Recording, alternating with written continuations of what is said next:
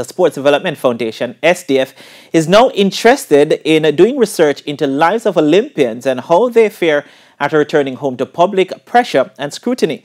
This is to help SDF implement policies so that resources or resources can be allocated to various associations to address those needs, especially mental health. Denise Walters has this TVJ Sports follow-up. In recent times, among the needs of athletes being mentioned is taking care of the mental health, and the sports psychologist Dr. Olivia Rose says it's important to assess and address those needs and not to confuse it with mental illness.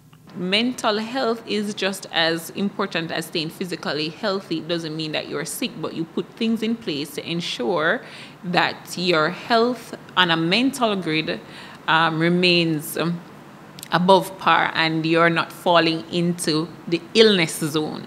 So, for example, if it means that you need to take a break because you taking a break is good for your mental health, but taking that break at a at a time that allows for you to do so. She is imploring athletes to seek the help they need.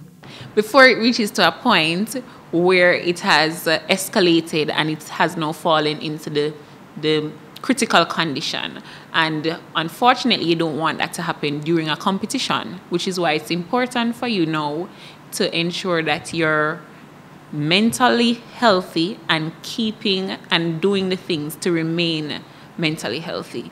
And this is where working with a trained practitioner in the field is necessary.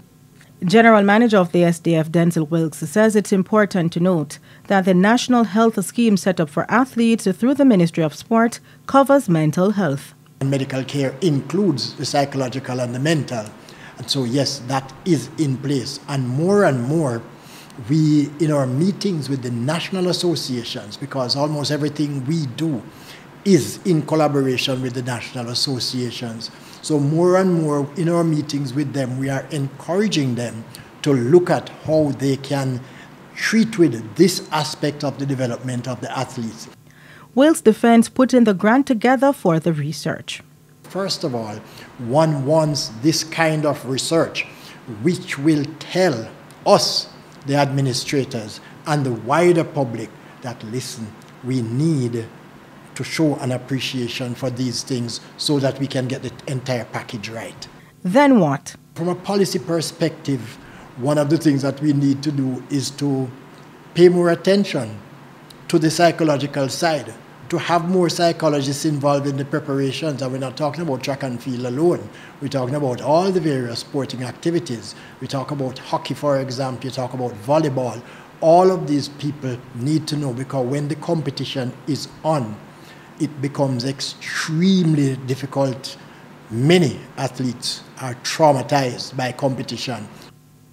Both Wilks and Dr. Rose says athletes have been selected to participate in the research and they're imploring those athletes to come forward and share their stories. Denise Walters for TVJ Sports.